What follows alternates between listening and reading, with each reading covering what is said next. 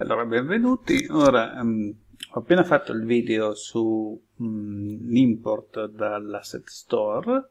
Quindi sull'asset store, ad esempio, ho trovato questa cosa in cui ci sono dei giocattoli per bambini. Vedete che ci sono diverse cose, tra cui ad esempio c'è questo giocattolino qua che si chiama ehm, che è un prefab, qua Army Truck, Army Truck, che sarebbe un, uh, un camion uh, diciamo, dell'esercito. Mm? Ora, questo camion dell'esercito vogliamo trasportarlo dentro Spatial, ma non in una scena, ma come un oggetto che uno può, volendo, può, può mettere in, nei vari posti. Quindi come un prefab. Eh, ricordiamo che i prefab sono blu nel, in Unity e diventano prefab semplicemente trascinando un oggetto dentro dentro gli asset, quindi è una cosa abbastanza semplice. Mm. Eh, qui ho dovuto fare, quando ho importato il, mm, torniamo qua, vedete che eh, c'era praticamente feature, vedete che ho tirato giù Children's Wooden Toys Free Track Pack, e qui ho dovuto cambiare, eh, come ho spiegato nel video che ho appena pubblicato, tutte le texture perché sennò non risultavano. E di queste texture ho preso l'Army Track. Mm? Eh, questo, questo signore qua.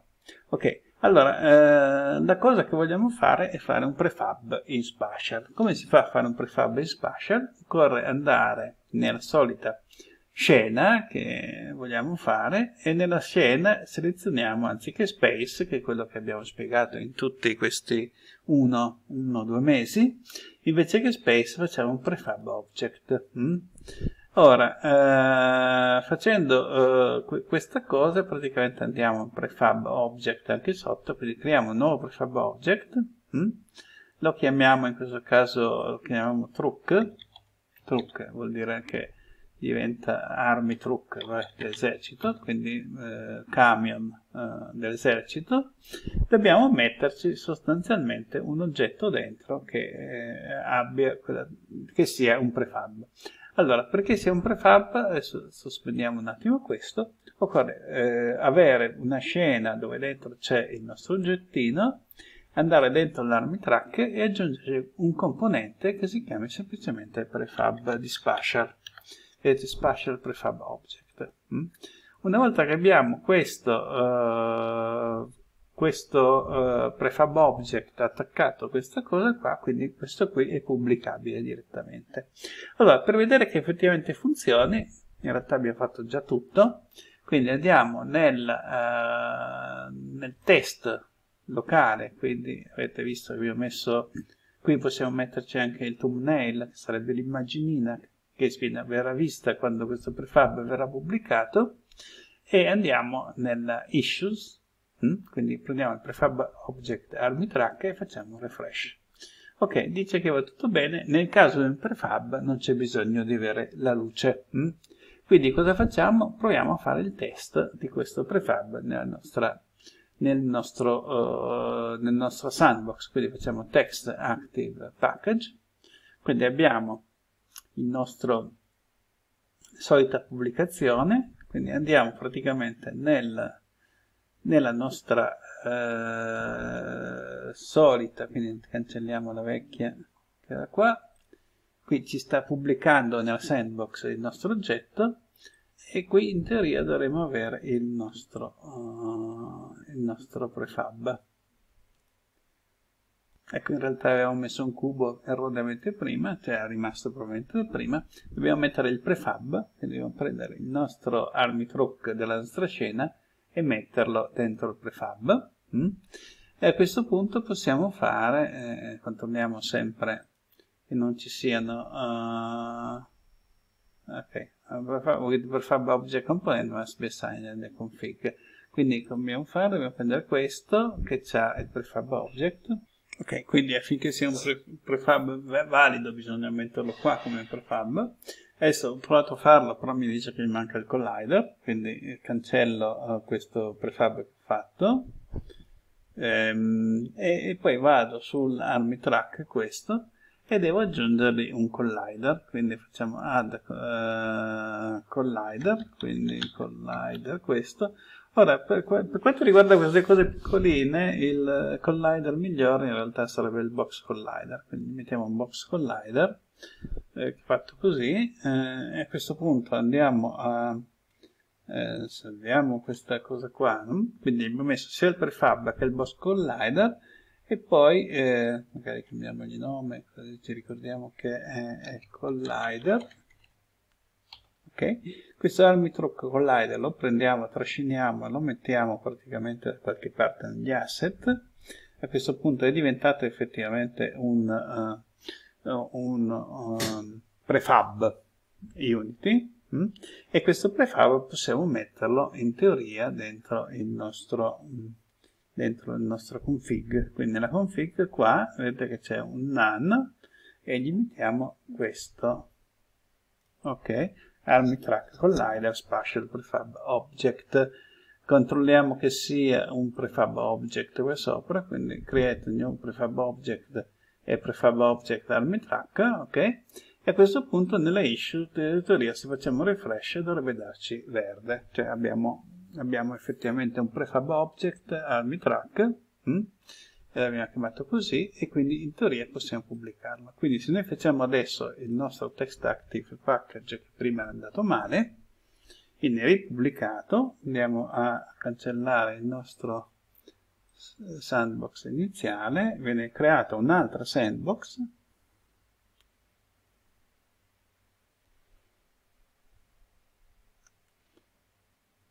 Eccolo qua.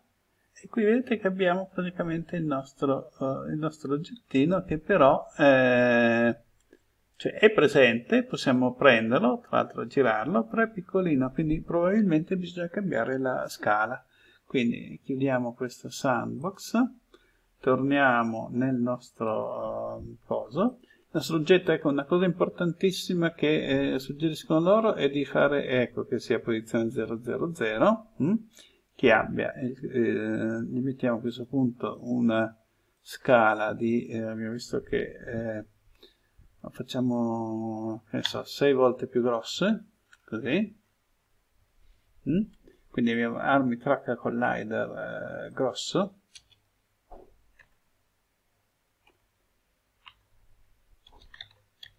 grosso, qui ce l'abbiamo quindi abbiamo sia il prefab che il, il box collider che gli abbiamo messo attorno.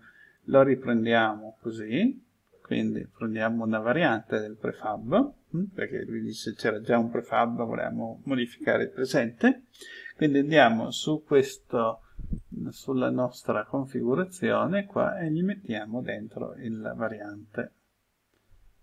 Ok quindi a questo punto qui vediamo sempre le issues non ce ne sono e quindi proviamo a fare il test di questo oggetto che è diventato un pochino più grosso. Ok, tempo reale. Quindi eh, abbiamo cambiato l'URP eh, anche se non ve l'ho fatto vedere in questo video quindi guardate pure il video precedente e vedete che abbiamo il nostro ah, tra parentesi questo um, ecco l'unico problema di, questi, di questo oggetto che è, è, è, phantom. Adesso sto chiedendo come fare per poter collidere con il, uh, in qualche modo uh, collidere con gli player sul, sul forum. Però diciamo possiamo prenderlo e anche in VR in teoria non ho fatto la prova ma si può prendere si può spostare. Quindi diciamo è un oggetto il cosiddetto proppo, come si dice in alcuni, in alcuni, posti, e quindi è possibile che uno possa ehm, praticamente eh, crearsi e portarsi dietro questi oggetti.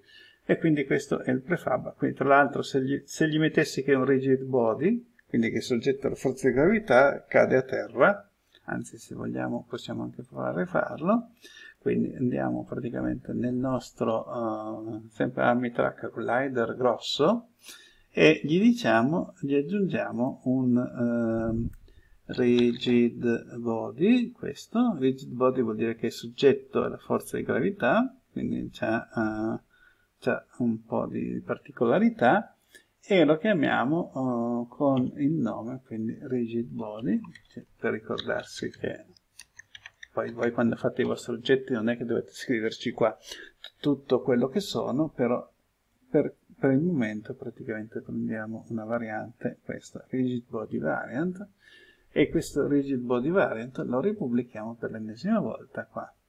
Quindi prendiamo rigid body variant, lo pubblichiamo qua, ci accertiamo al solito che eh, non ci siano issues, e poi facciamo un test dell'Active Package. Quindi quello che dovrebbe capitare è che questo, mh, questo prefab, essendo un rigid body, dovrebbe cadere a terra.